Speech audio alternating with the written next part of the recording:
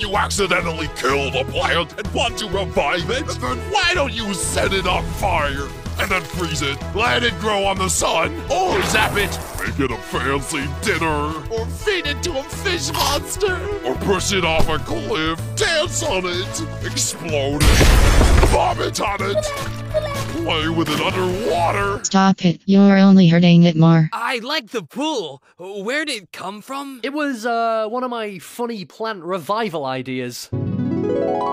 So, just don't get underwater? Yep, hopefully it'll work.